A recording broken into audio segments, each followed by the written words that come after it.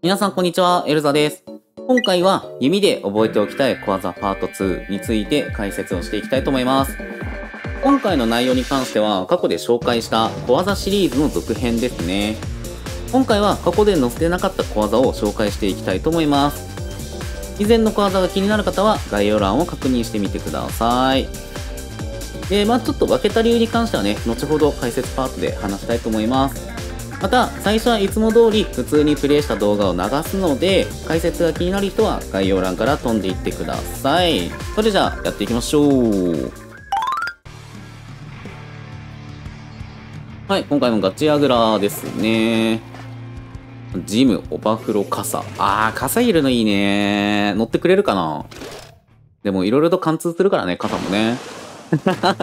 あの、使って悲しくなるっていうね。いやー、初動はちょっとゆっくりめに出ようかな。マクロが右いる。今回ちょっと右陣取ろうかな。左に出てないんで、あと味方が左に展開してるんで、任せてます。で、今回キャンシェルがそこいるのよね。なんで、キャンシェルをなるべく機動力落とすような感じでやっていきたい。まあ、ちょっと弓がな、しんどいなもう早速乗っちゃってるし、ローラーも来てるし。はい、ナイス。ここ取って、で、ローラーがいる。はい、上。よし。頭脳天ぶっ刺して、で、もう一回ここ。よし、取った。あー、そこ、そこ来るよなそこカバー入れて。取る取る取る取る。はい、そうそうそう。顔出させれば味方が出る。ナイスナイスナイスナイス。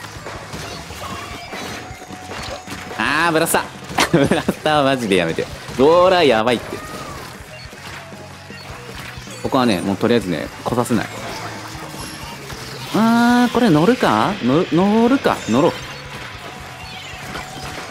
でもね、結構ね、ごちゃごちゃしてるからね、まあ、絶波に合わせたいよね。あー、取れた。よし。よしよしよし、カウンターを決めれた。だけど、ちょっとあれだな中央塗りやばいなどうしようかね。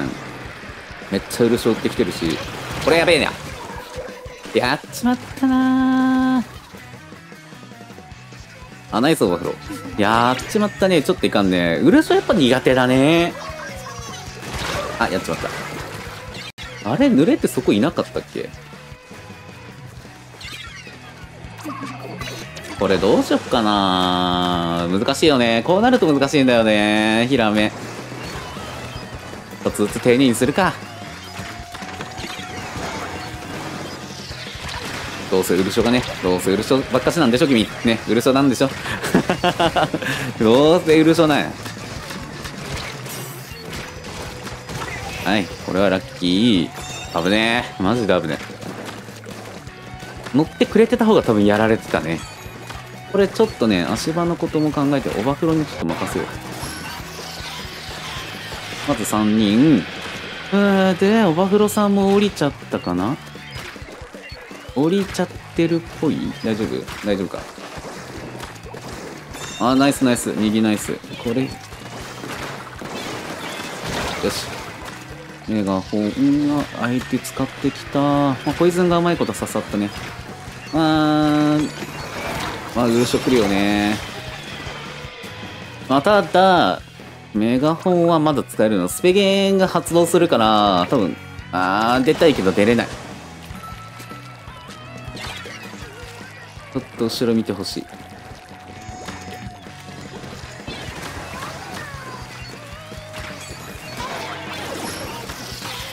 さあ、これどうしよっかね。結構味方も焦ってるし。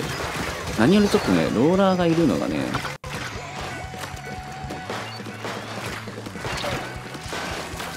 もう詰めるもう詰める もうそっちがそれなら。いやー、そこはなー。あ、弓かれはちょっとそのまま行こう。あのね、あんまり、足場が取れてないからな。はい、カバー。あ、これ、ラグラ乗る。ヤグラ乗ってスペシャルガンガン貯めよう。ちょっと味方を有利にさせるようにしていこう。あやれ。当たらんかな？おらんかな？そこ、上来てない、いない。下、降りてきてない。味方ナイス、味方ナイス。いいよ。おばくらさんいいよ。仕込みいいよ。あ、いいね。絶版これ絶対いるでしょ。絶対いるでしょそこ。絶対いるでしょ。あ降りた降りた降りた。あーナイスナイスナイスナイスナイス。それでかい。そこうるしね。あもう逃げる逃げる逃げる。あぶあぶあれはラッキーだったな。はいメガホン。はいポイズン投げてインク散らして。よしよしよし。発動したらね。邪魔しつつ制限も維持できるからいいね。半分ぐらい溜まってるのでかいよね。この状況で。あ残り20秒。うーんどうしよっかな。高台で一回場所見たいけど。はいはいはい。味方をバフルそこいて弓削ってもう一回削りたいけど降りたね。道塞いで。あーちょっと待ったそこいる。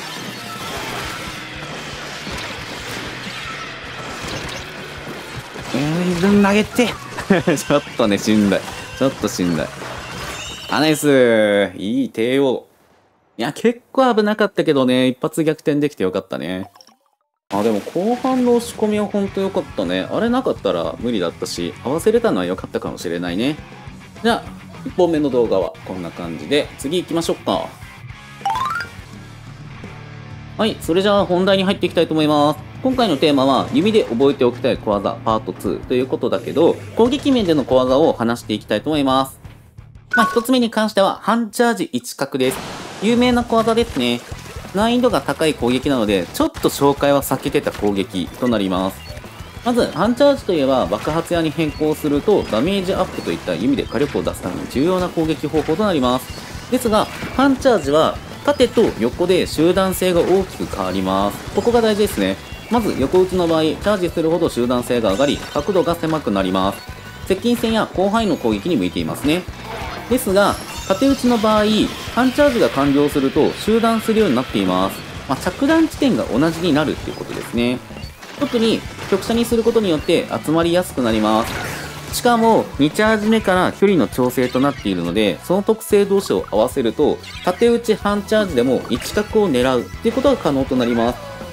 狙うコツというところで言うと2ゲージ目の4分の2から4分の3あたりで打つのがいいですね。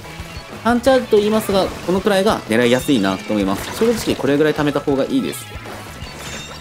でかつ正面ではなく高さがある敵に対して特に有効となります。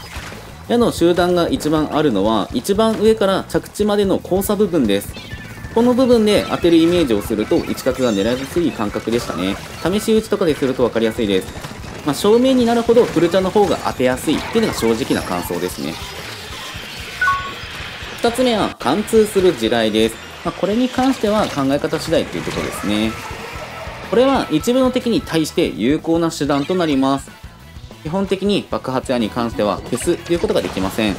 そのため設置した約1秒弱45フレームはその場に留まるようになります。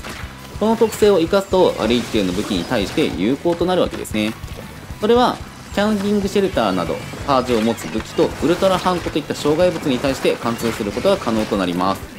まずキャンセルなどについてはパージした傘は爆発矢をすり抜けてしまいます。先ほどの試合でもありましたね。そのため手前に置くだけで傘に隠れることができなくなります。またウルトラハンコでもこれを消すことができないので正面に進む場合場所を合わせて置いておくだけダメージが入りやすくなるというわけです。直接狙うと消えてしまうんですがこちらの方が結構有効ですね。またこの地雷を有効活用するとガチホコバリアなど発生前にヘッジしてダメージを稼ぐことも可能です。ちょっとしたダメージ稼ぎ程度に使ってみるのもおすすめかと思います。それでは3つ目距離限定の射速についてです。これは他の解説でもよく紹介している小技ですね。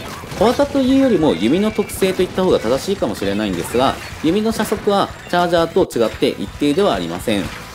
まず比較してみると分かりやすいんですが同じ射程で攻撃をした場合チャージャーの方が少し早く当たっています。フレーム単位の話ですがマッチング中でのラグのことを考えると差が開きやすいっていうのがあるんですよね。ですが射程をレティクル反応内に置いて攻撃してみると同じタイミングになります。でこれは弓の直線から直射に変わる時に起きる速度減少が起きるから遅くなるっていうのがあるんですよね。スプラの使用上弾が下に落ちる時に減速するっていうのがあります。この影響も弓は受けているってこともあり一定の距離を境に速度が落ちてしまうっていうことが原因となるわけです。逆にチャージャーは一定の速度を維持しながらまっすぐ攻撃ができるので車速という意味ではかなり強いですね。ここがやっぱ差になります。でこういった車速の違いが出るため最速を維持できる直線の時には当てることでキルタイムを維持できるっていうわけですね。だから近づいた方がいいっていうのがあるわけです。で今回紹介した小技3つとなりますが基本的に限定的なものが多くなっています。ですが知っているだけで個別の対応ができるということができますね。ぜひとも知識として覚えておきましょう。はいということでちょっとね試合の方もまだ残り時間ありますので見ていきたいなと思います。あーちょっと辛い展開になってるね。まあこういう時はなるべく手前処理からしっかりやっていきたいところだね。まあ、だいぶ荒らされたね。カウント取ってたから、だいぶ落ち着いてるけど。このローラーはビビるなまあ、これに気づいてくれるのか、味方が。結構ね、自陣荒らされててね、見てないから結構辛い試合ではあるのよね。あ、ここでね、焦るとね、あの、自分もデスしちゃうんでね。角度を取りつつ、よしよし。とりあえずそこのビーコンぶっ壊して マップ見てるとね、今みたいにビーコン破壊できるかいいよね。はい、メガホン。ちょっとなハイドラさんが粘りうまかったからな。はい、取って。俺も取りたいけど、これ我慢我慢我慢。我慢我慢。我慢我慢。我慢。できる 全然最後我慢できなかったなはい。ということで、ちょっとね、試合の方はね、危なっかしい試合が、なんか展開がありましたが、まあまあまあ、これでも、なんとかね、リード取ってると守る方に集中できるんでね、よかったんじゃないかなと思います。まあ、小技の方もね、えー、ぜひ、試して遊んでみてもらうと実感できるのかなと思いますので、やってみてください。ということで、ご視聴ありがとうございました。まだまだスプラの動画やその他のゲームを随時投稿していきますので、応援してくれる方はチャンネル登録と高評価お願いします。それではまた次回お会いしましょう。バイバイ。